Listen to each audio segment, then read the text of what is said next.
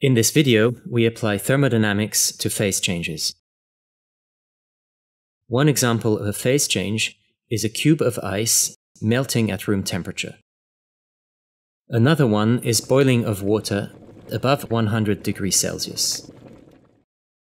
For a reminder on thermodynamic state variables, spontaneous or not spontaneous transformations, as well as exothermic and endothermic reactions, please see the video Thermodynamic State Variables.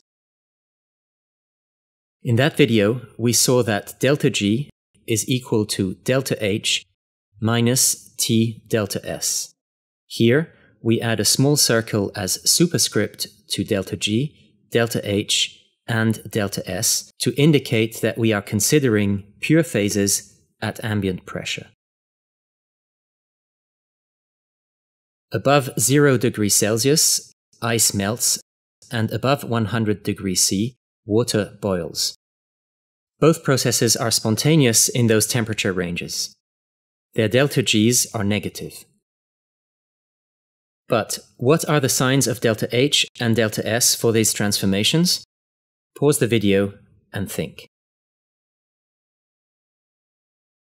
For the melting of ice and the boiling of water, both delta H and delta S are positive, because in both cases bonds must be broken and the disorder increases.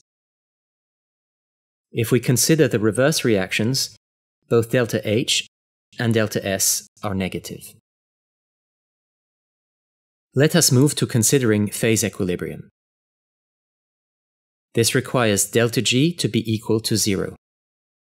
Using the equation delta G equals delta H minus T delta S, we can define the melting temperature as T melt equals delta H melt divided by delta S melt.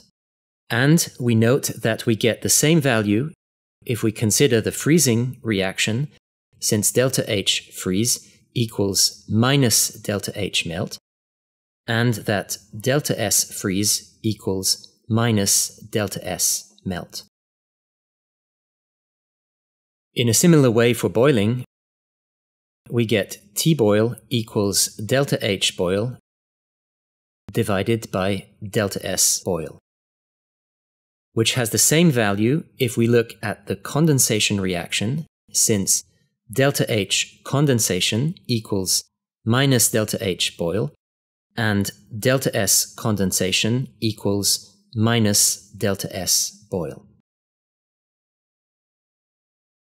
Phase changes are very important to understand the difference between spontaneous and non-spontaneous reactions, as well as between exo and endothermic reactions.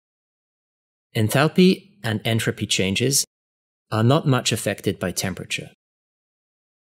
So the melting of ice is endothermic, with a positive delta H regardless of temperature. However, the free energy depends strongly on temperature through the term minus T delta S. This is why the free energy for melting is negative above 0 degrees C, giving it a spontaneous nature even if it is endothermic.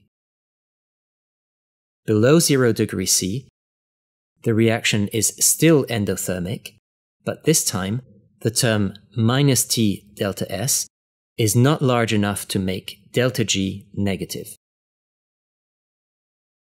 Therefore, below 0 degrees Celsius, the melting of ice is non-spontaneous as we very well know.